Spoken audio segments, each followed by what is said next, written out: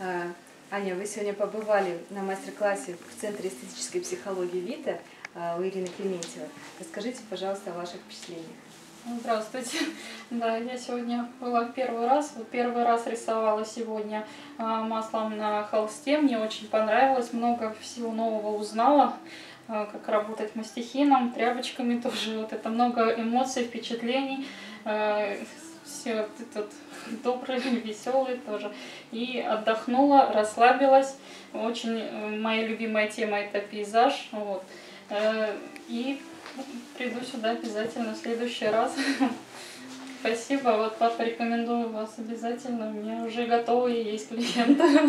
А мы вам будем рады. Спасибо А вот, большое. сделаем еще что-нибудь интересное вместе, Да. да? Все, что захочется. да.